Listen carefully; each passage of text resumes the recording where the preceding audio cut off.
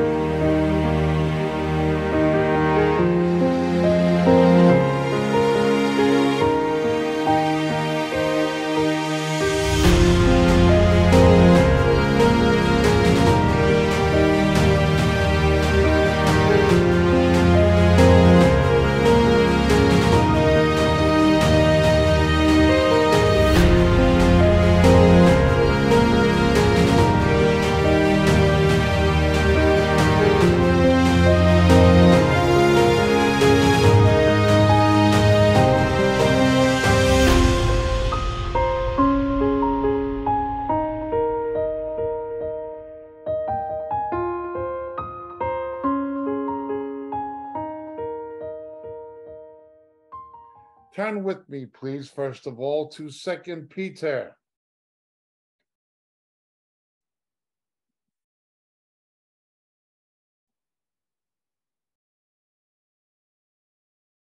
Chapter 3, verse 3.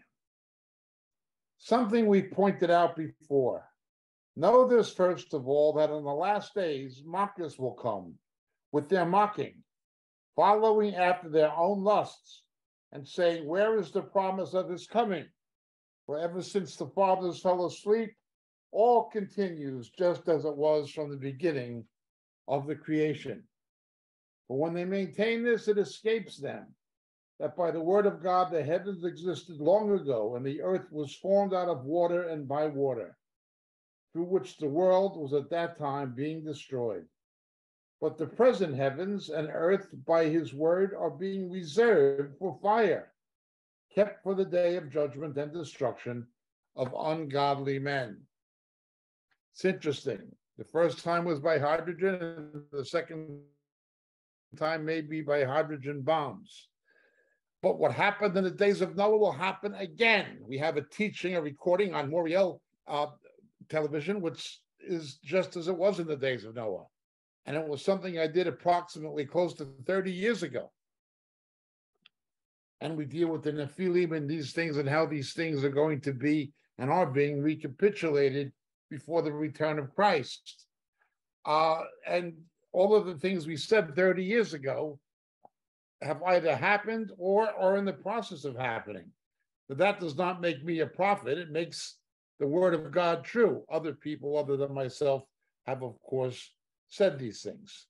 But we did say it, and it's there, and we would advise you to watch it if you haven't seen just as it was in the days of Noah. That is not our main subject today, but our main subject does relate to it. One of the things that happened, as Noah warned people, and it is reckoned he did so for approximately 120 years. As Noah warned people what was going to come, a judgment, and warned about the need for repentance and so forth. He was mocked. When he said the judgment of God was going to come, he was ridiculed and belittled. Now, we've talked about this subject before. I can handle it when unsaved people, when the world mock, when you tell them Christ is coming, that the judgment of God is coming, that there's going to be an antichrist on the earth, that there'll be a great tribulation, that the day of God's wrath is coming, and that there is a rescue, a rapture. I accept unsaved people think this is nonsense and they reject it. And I expect them to reject it. But what do you do when you have people claiming to be Christians who mock it? Again, when you have people like Rick Joyner, uh, speaking against the rapture. Or Mike Bickle, again, somebody who says the rapture of Elijah was God's judgment on Elijah. Or someone like Gerald Coates, the rapture is a fantasy and a myth. Uh, or even of the devil. What do you do when you have someone like Chris Rosebrough mocking the people who believe in the Antichrist and the mark of the beast? He openly mocks it. He openly mocks it. we have clips of him openly mocking belief in taking the book of Revelation with any sense of literally being taken literally as a prophecy and mocking, mocking people who believe in an antichrist and a mark of the beast. And of course, he was promoted in, in Scotland by, by Studio Scotland and Bethel Communications by the by the Menelaws. They promote this man, have promoted them. We can prove it. These people that we see doing these things are what Peter, under the Holy Spirit, warns were going to happen again. People like that were around in the days of Noah. People like that are around again in the last days. You have those people who mock what the word of God says prophetically, and those who promote them. And this is what's happening. Well, first of all, we're told to expect that's going to happen. But turn with me, please, to the book or the epistle to the Hebrews, chapter 11, verse 7.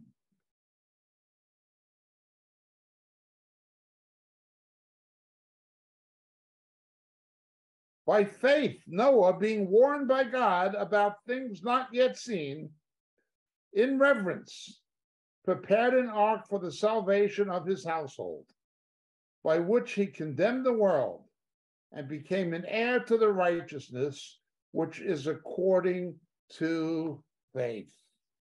This is Noah. He was warned, he did as God told him, and the condemnation came.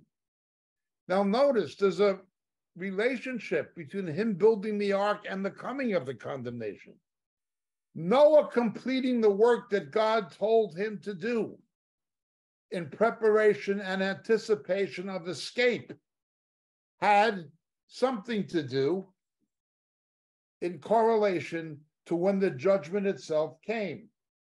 Peter also speaks of this, saying, We can hasten his coming, we can make him return faster, we can make the rapture take place sooner by carrying out the Great Commission faithfully. And so he was told to build the ark. And Peter and Hebrews tell us these things have a meaning for the faithful believers in the last days. Again, I would point you back to an earlier recording from some decades ago now, just as it was in the days of Noah, where Jesus said it's going to be just as it was in the days of Noah. Repeatedly, the New Testament links the days of Noah with what's going to happen at the close of the age. But as then, there will be a rescue. There will be an ark. Now, people have the idea that the Lord is just going to beam us up. He's just going to rapture us out of here. Don't worry. It's just going to be the harpazo. He's going to beam us out of here. That is true, but it is only half the truth. Peter again says we can make it happen faster. And relating this to the saga and epic of Noah, it has to do with building an ark. We can build an ark. Look with me, please, if you will, to the book of Genesis, chapter 9, verse 29.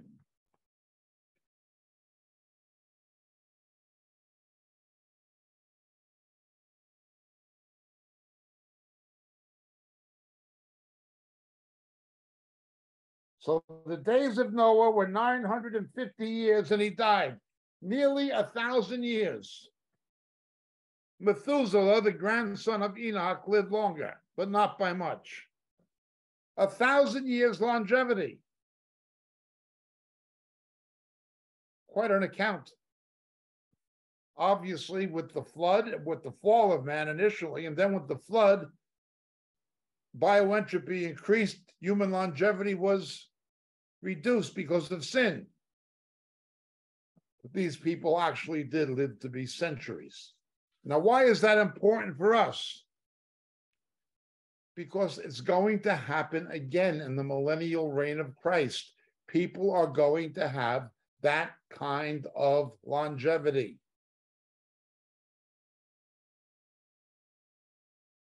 God tells him, build the ark. I know it's a very familiar passage of scripture, and we won't read all of it, but turn with me, if you will, please, to the book of Genesis.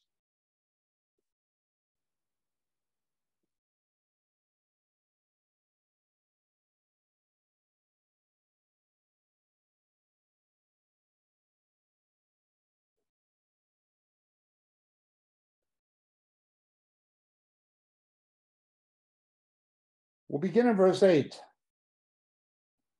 With all of this moral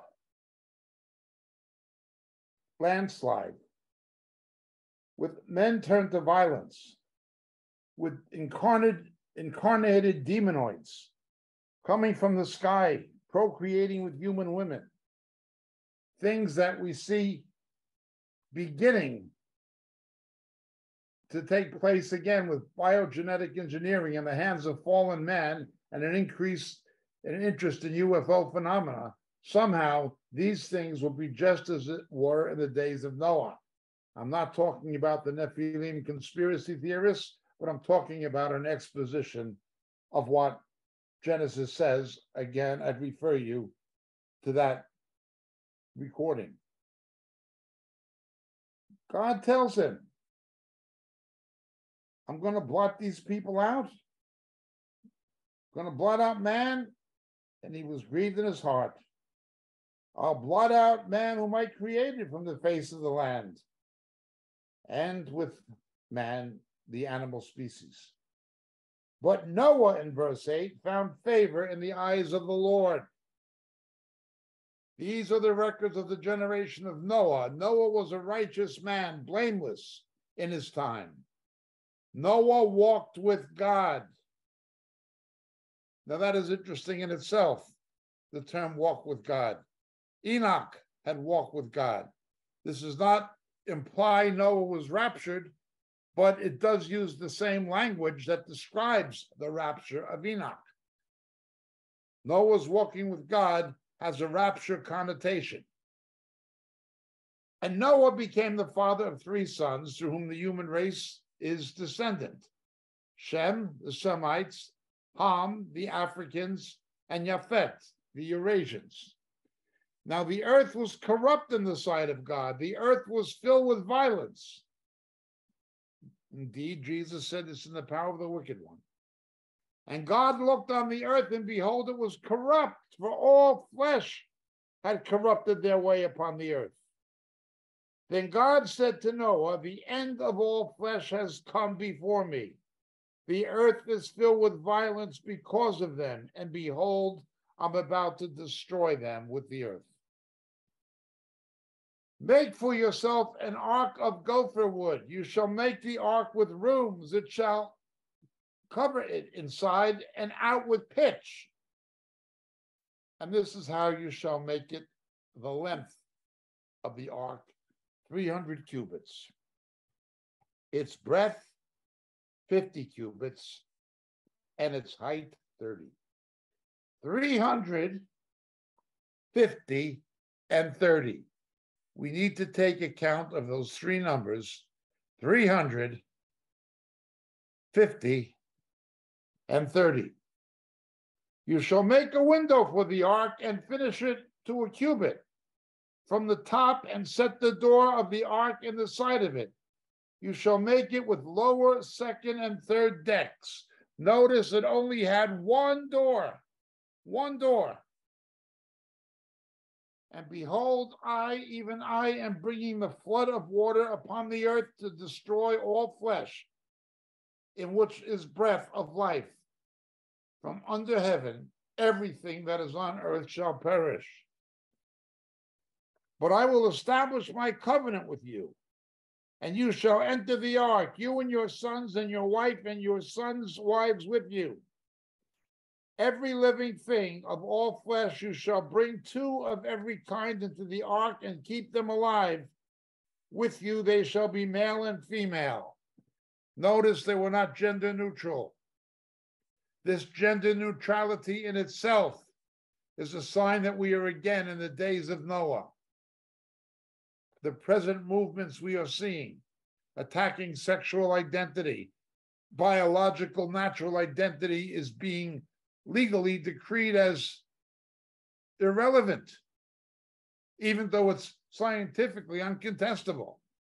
This is how depraved man has become. This is how depraved man was in the days of Noah. Of the birds after their kind, now that word kind in Hebrew is min. That's where you get the word sex, meaning. Sexual relations which to take place within the species, within the kind. And of the animals after their kind, and of every creeping thing of the ground after its kind, two of every kind shall come to you to keep them alive. And as for you, take for yourself some of all food which is edible, and gather it to yourself, and it shall be for food for you and for them. Then Noah did according to all that God had commanded him. So he did.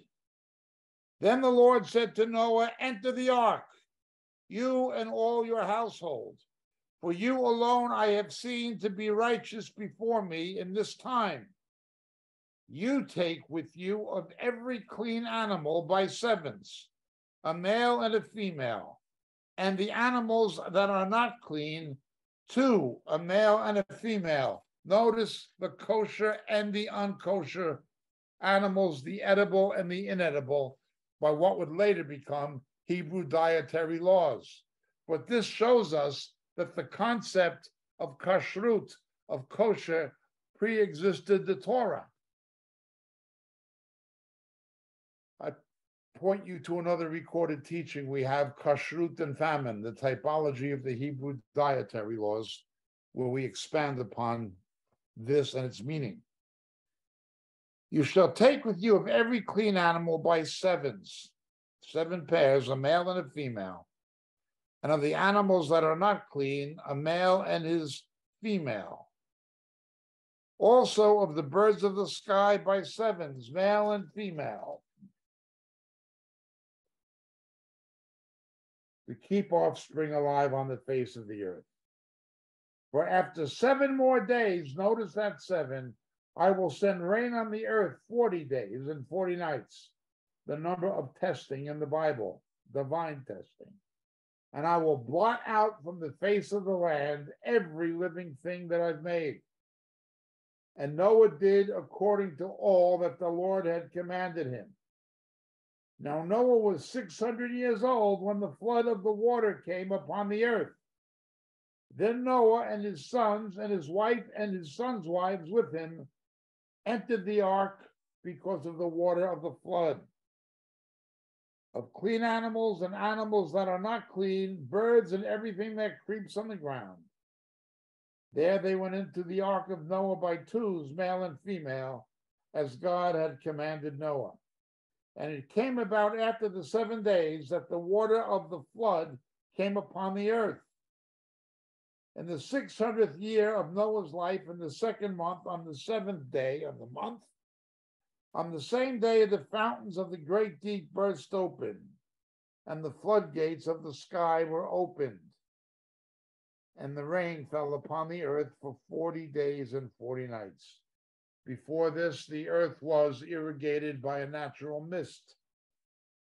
And on the very same day, Noah, Shem, and Ham and Japheth, the sons of Noah, and Noah's wife, and the three wives of his sons with them, entered the ark they and every beast after its kind, and all the cattle after their kind, and every creeping thing that creeps on earth after its kind, and every bird after its kind, all sorts of birds. Notice God is very specific about kind. So they went into the ark to Noah by twos of all flesh, in which was the breath of life. That everything that has breath praise the Lord in the Psalms, Kol Shema Tel Hallelujah. Hallelujah. And those that entered male and female of all flesh entered as God had commanded him, and the Lord closed it after him. And the flood came upon the earth for 40 days, and the water increased and lifted up the ark so that it rose above the earth.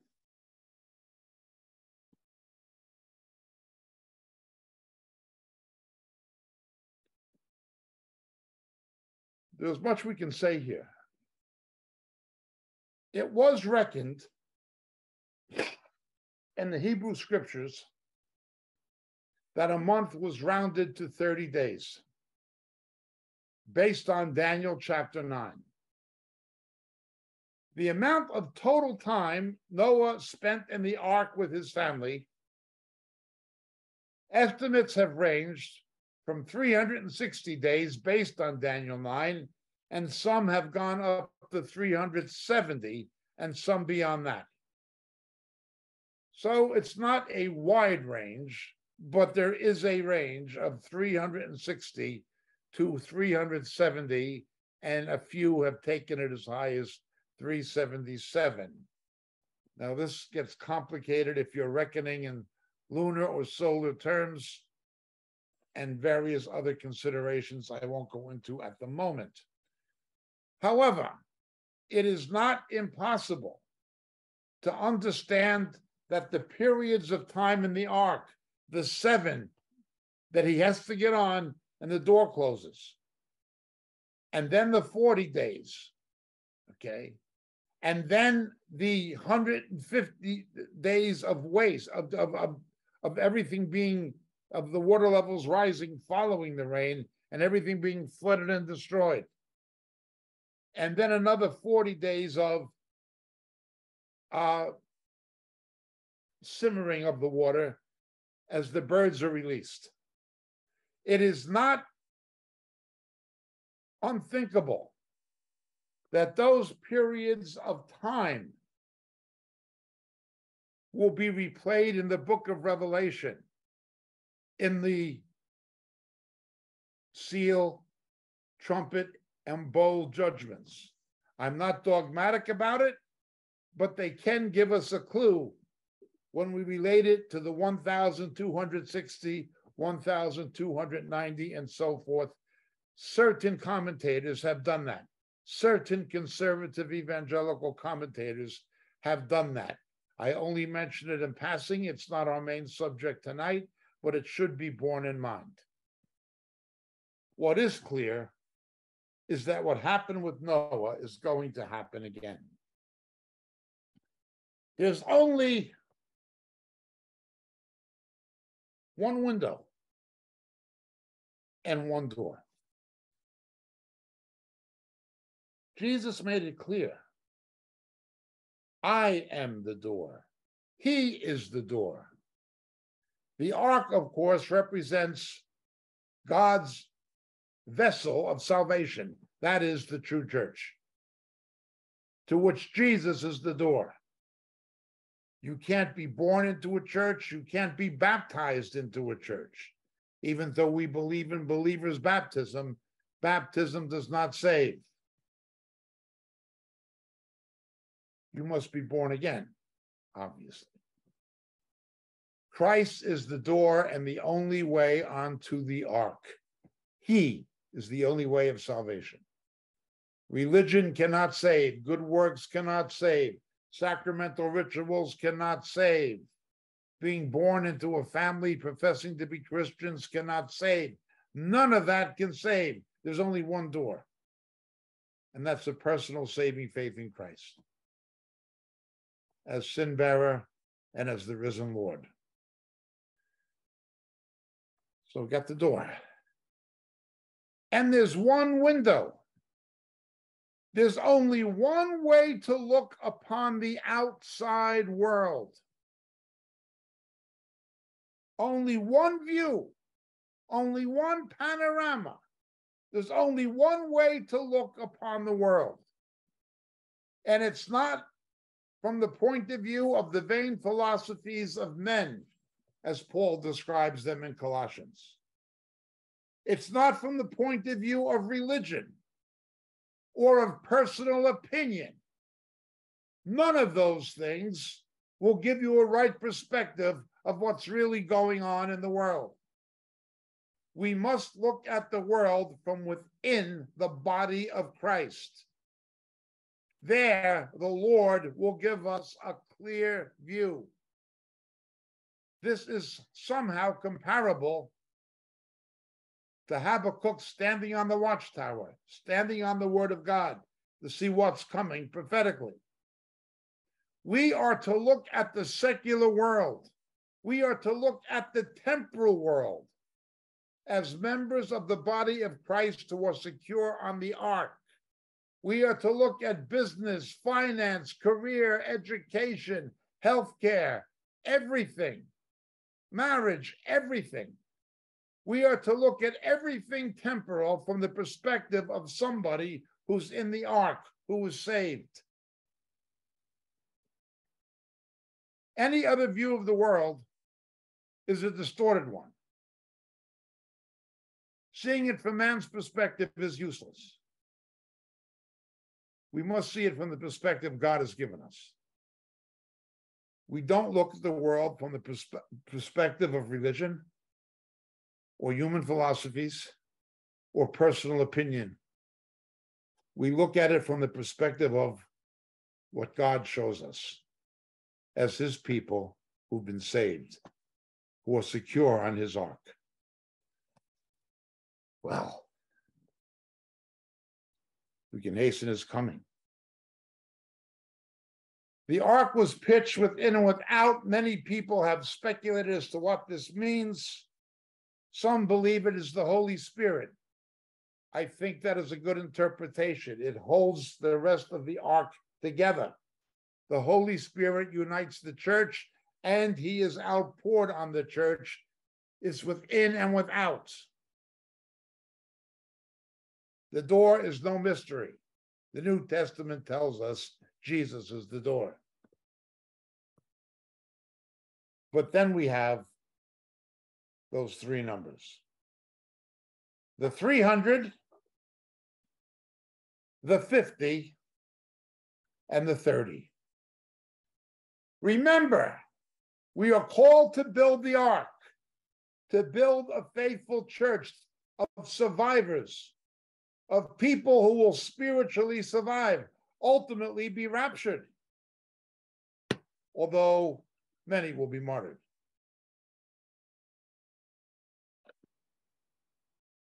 As they always have been.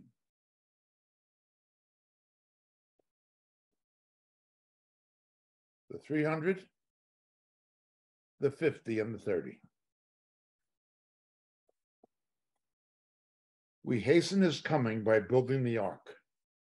The Lord could not send the flood until the ark was built the Lord would not send the ark of the flood until the ark was built. He had to provide for his faithful people. But by them building the ark, it made the flood come faster, hasten his coming. As it says in Hebrews 11, because of what he did, of what Noah did, it brought the judgment of God. His judgment is coming on the kingdom of Satan. His judgment will come on the kingdom of Antichrist. Despite those who deny there is an Antichrist and those who promote those who so teach such error. Let's begin with the 300 in biblical typology and numerical symbolism. Solomon placed 300 small gold shields in the temple, 300. But we know 300 was the number of Gideon's army, of the elect, of the real warriors of the real fighters, of those who lapped up with their hands, of those who were desperate, of those who wanted victory, of those who would go up against the invader from Ein Harod at the orifice of the valley of Jezreel at the uh, foot of Mount Gilboa, opposite what is there today, Elon, uh, Elon Moreh, the, the, the, the Mount of Moreh, not Elon Moreh, the Har Moreh, Har Moreh, sorry. Har Moreh is just opposite where the invaders were. And of course, Gideon's army had the torches inside the pitchers and broke them. We are earthenware vessels. We are broken, shattered, that the light of Jesus may come out. But there comes the victory. It was only 300 that did this. The rest was seen as unfit. You look at all the people in the world who call themselves Christians. Many are in false Christianity. You were never born again. Liberal Protestantism, World Council of Churches. Just look at the joke the Church of England is, or the Church of Scotland. Obviously, the Roman system and the Eastern Orthodox system. Then, of course, the cults, the Jehovah's Witnesses, the Mormons, Christadelphians, etc. The biggest Christian, so called small c sect in the world is the Roman Church. It's a billion people.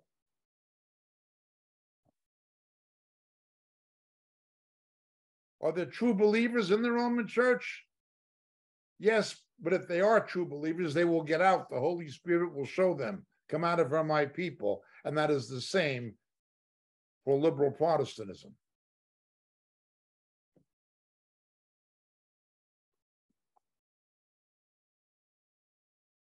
Subtracted. Those who follow the word faith money preachers, the con artists, mammon worshiping pseudo evangelicism of the televangelists, you subtract that.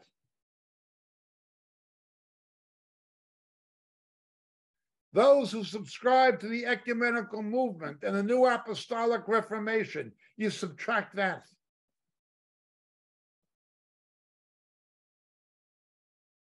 Two billion people, two and a half billion, some would say, claiming to be Christian. I don't know what 300 corresponds to now proportionately, but you're going to be left with a Gideon's army there'll be 300 getting on that ark. There will be a faithful remnant. There will be a faithful church. 300. As with Gideon at Ein Harod, there will be a testing, an elimination process. God was not looking for quantity, he was looking for quality at Ein Harod.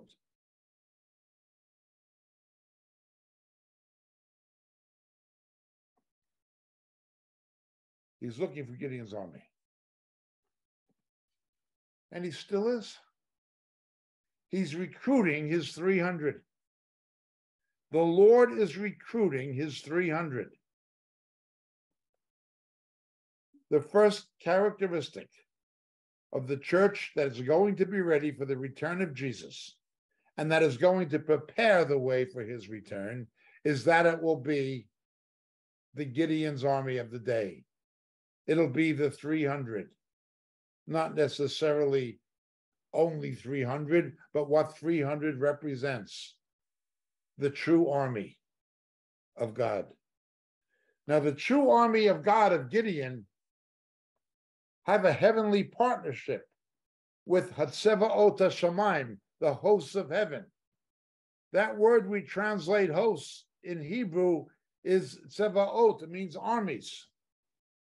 There is a alliance between the armies of heaven, the angelic armies of the Lord, and the faithful army of the Lord here on earth.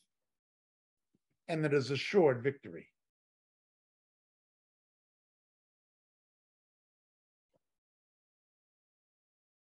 in the age of the Church of Laodicea and lukewarm Christianity, there's not a lot of interest in building an ark in many churches. There's less and less interest in prophecy and the return of Jesus. And you have people, again, like Rick Warren, telling people to avoid the subject in direct contradiction to the specific commands of Jesus. You have this lukewarmness of Laodicea.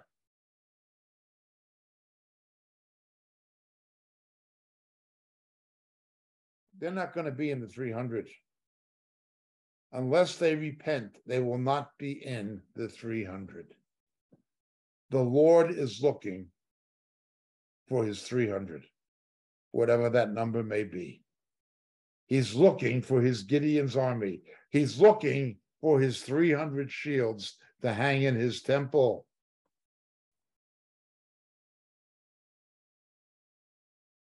Don't expect popular Christianity or Christendom or all who claim to be evangelical to be on the ark.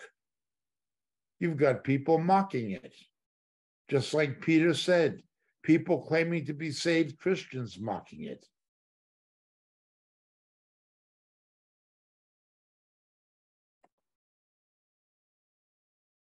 Let's go further.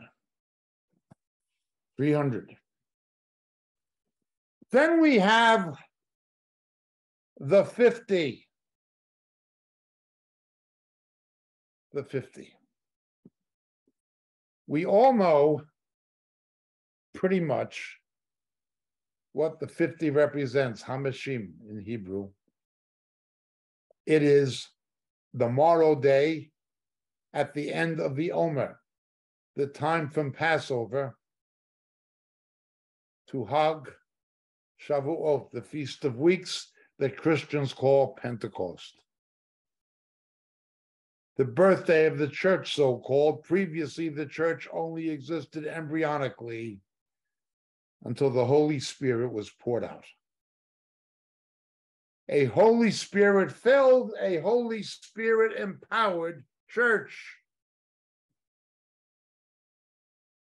Now, one of the things we see in Scripture then the power of the Holy Spirit is he's the spirit of holiness. He empowers us to overcome sin, cigarette smoking, porn addiction, or whatever it's called. In my case, it was literally illegal drugs.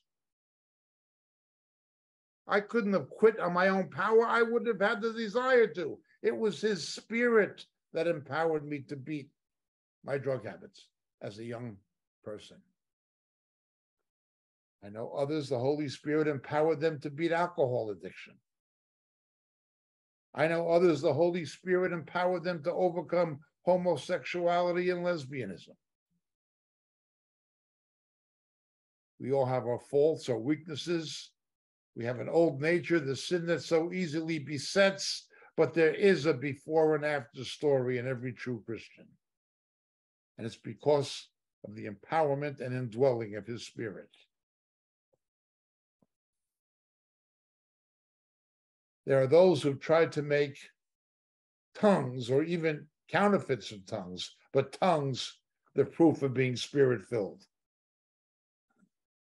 The Holy Spirit is the spirit of holiness. A moral life, a godly life is the first thing that is emblematic and reflective of the 50 of the Holy Spirit.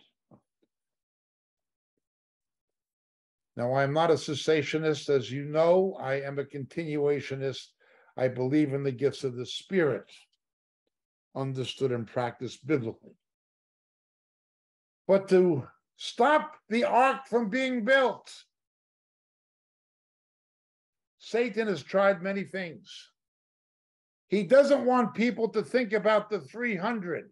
Oh, just put your faith in Jesus and you'll be raptured. Don't worry about this, that, or the other thing. Don't worry about preparing for the last days. The whole pre trib illusion. No, we have to be concerned. Secondly, those who again tell us to avoid studying the return of Christ like the purpose driven agenda, and those who even mock it, like Chris Rosebrough and people like this. Mockers will come. No, Satan doesn't want the 300, but neither does he want the 50. And there have been two primary attacks on the 50. One has been the counterfeit, the very kinds of counterfeits we read about and are warned against in First Corinthians. Hypercharismatic lunacy, ultra Pentecostalism. As Paul writes under the inspiration of the Holy Spirit, if the ungifted, idiotai in Greek, or the unbelieving, unsaved people enter and see this chaos, will they not say you are mad? Any unsaved person watching a maniac like Michael Brown running around yelling fire, fire, pushing people over will say that man's crazy. Anybody watching John Arnott or Rodney Howard-Browne or the Elam movement in England and watch watch what they did. They would say these people are crazy. These things are counterfeits of the Holy Spirit. Satan does not want the ark built, he does not want the 50. The fruit of the Spirit is ekrete, self control, not the lack of it, not people imitating animals and having uncontrolled gyrations on the floor.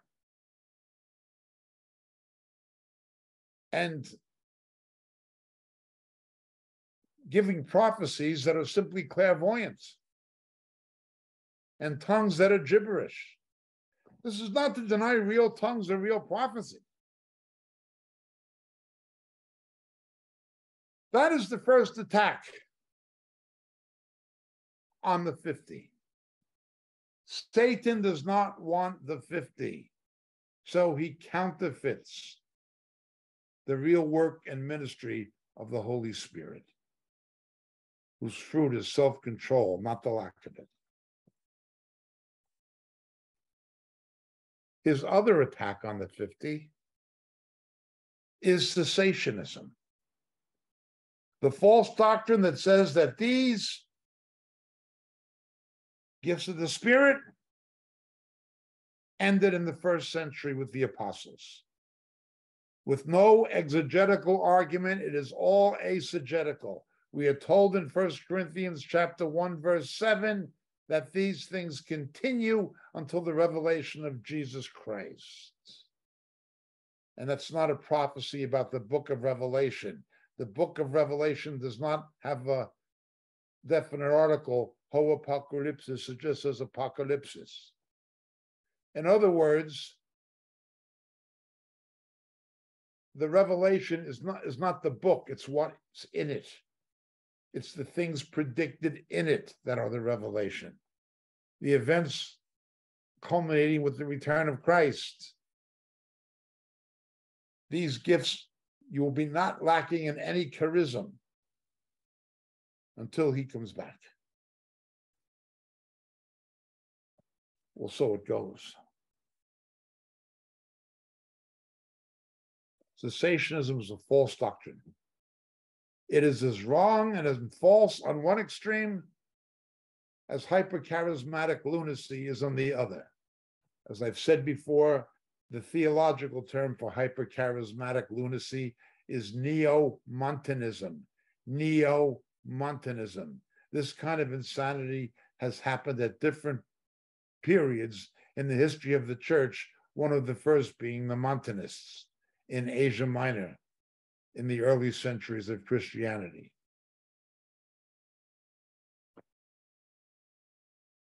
Satan is attacking Oh, there is no gifts of the Spirit. There's no tongues, no prophecy. The perfect is come. Well, if the perfect has come, we no longer need faith and hope. In exegetical context of 1 Corinthians 13, the three greatest are faith, hope, and love, but the greatest is love. Right now, we see through a glass darkly. Then we shall see plainly, clearly. Then we shall know as we have been known. It will not be in any sense nebulous. We will no longer need hope and we will no longer need faith. If the perfect is come, as those teachers of error say, we don't need faith and we don't need hope. But the New Testament tells us repeatedly we need faith and we need hope. We're saved by grace through faith. Cessationism is a false doctrine, and those who teach it are teaching error.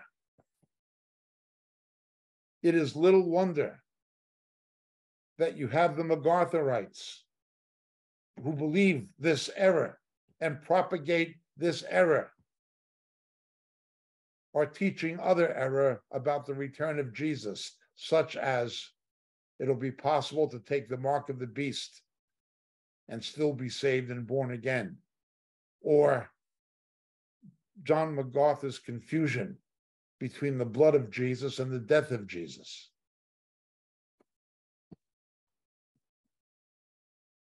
Satan does not want the 50.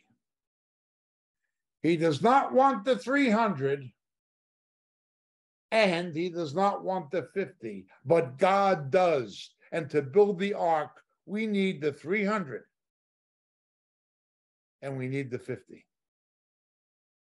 Those who are spirit filled and have the spirit poured out, pitched from within and without, gives us our unity and holds us together. But then, of course, we have the 30. There is a word in English I dislike very much. I think it is a phony word, at times a hypocritical word, and even in certain contexts, a stupid word. M A T U R E, mature. I don't mean like as in matured fruit or something like that. The world's definition of mature is not God's.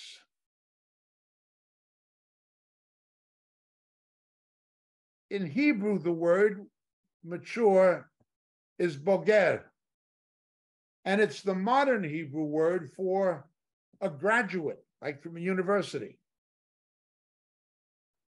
What mature means in the original Hebrew scriptures is somebody who retains their childlike qualities, but adds to them knowledge, wisdom, and abilities that children don't have. I'll say it again. Someone who retains their childlike qualities, but adds to the childlike qualities, knowledge, wisdom, and ability that a child does not have. In the world's thinking, you get rid of the child to get the adult. it's all phony and distorted. Why don't you grow up? That means, why don't you become like me? Or like the world. In God's economy, it's different. Now, Paul said when he was a child, he did the things of a child. That's true. However, in the nature of a child, Jesus said, unless you come like one of these little ones, just a natural trusting faith in Jesus, receiving the kingdom as a little kid. The innocence of a child, not as yet corrupted as much with the world, although it has a fallen nature, not as corrupted as yet by the world. Seeing God as a loving father. We do not you lose childlike qualities in God's definition of boger, which is translated maturity. We retain those qualities, but add to them knowledge, wisdom, and ability. To the world, maturity means becoming like the world.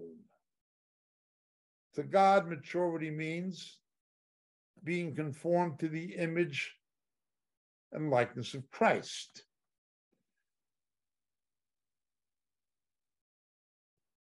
Jesus began his ministry when he was about 30. King David began his reign from Hebron when he was 30, the time of the prophet Samuel. Saul was gone. David was 30. Jesus was 30. Now, if someone was saved later in life, it's different. But if someone was saved in childhood, or had the advantage of coming from a Christian family, or was saved as a younger person, by the age of 30, they should pretty well know what God is calling them to do and be about doing it. It is the number of boger, it is the number of God's definition of maturity, again, not to be confused with the world's.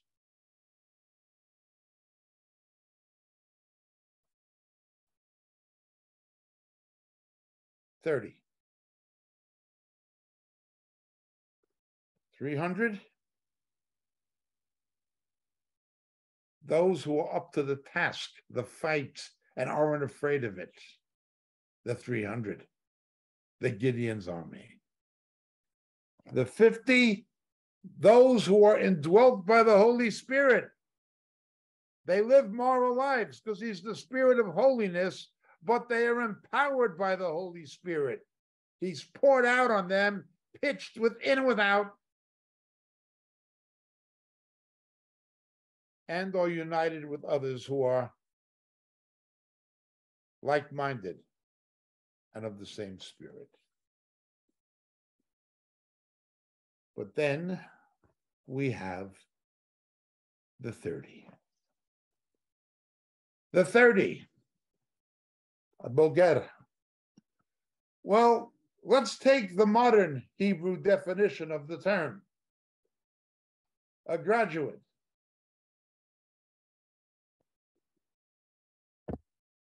A graduate is not someone who's merely literate. A graduate is someone who is learned. Now, we're not necessarily speaking about an academic education.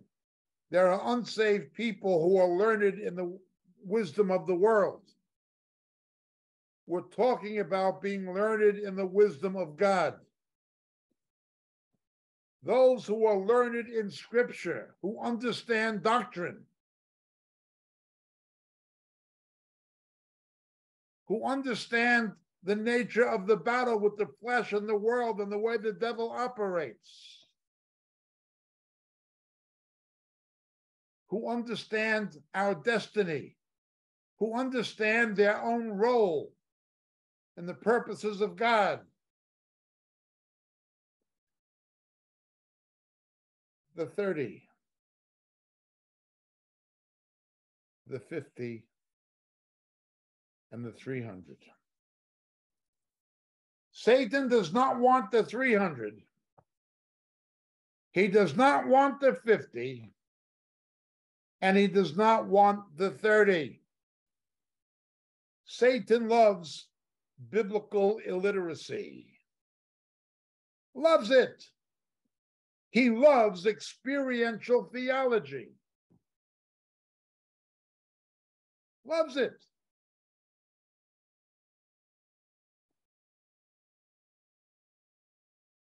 Satan hates those who know the word of God and who know how to apply it under the guidance and empowerment of the Holy Spirit. He doesn't like those 300. The ark is under construction. There's one door, one window. In the age when even Christians are being seduced into the interfaith movement, I'll always remember the book that Satan inspired Peter Kreeft to write that was endorsed by J.I. Packer, the Reformed Calvinist theologian, and by the late Nixon Watergate criminal who said he became a Christian, Charles Colson. I'm not his judge, but he was super ecumenical. Evangelicals and Catholics together. They endorsed a book that said Mohammed and Buddha is, are in heaven.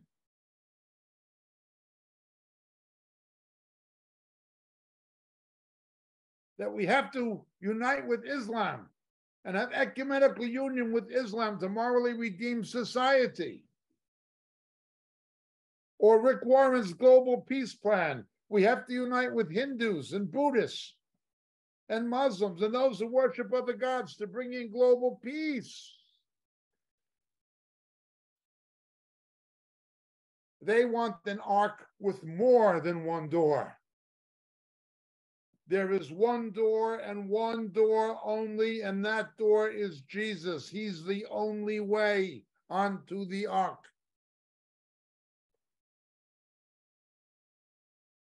Well, you have a narrow view. No, I have a very broad view because I'm inside the ark looking out. There's one window. You're circumspect. Those in the ark are focused. One window, one door. 300 quality over quantity. 50 neither hypercharismatic lunacy nor cessationism. Both are wrong. The 50, that which is spirit filled, spirit empowered, spirit led, spirit directed, and whose guide is the sword of the spirit, the scriptures. and then the 30. Not those who are conformed to the world, but those who are conformed to Christ, his kingdom, his dominion, his reign. The ark is under construction. God says 300. God says 50. God says 30. He told Noah 300. He told Noah 50. And he told Noah 30. Now, by his spirit through his word, he tells us the exact same thing. The cloud is coming, judgment is going to fall. Build the ark. I've got to get you out of here before I judge this place. Build the ark. Just like I tell you. 350 and 30. Thank you so much for listening and joining us here on Word for the Weekend on RTN, Christian TV Scotland. God bless and have a great weekend.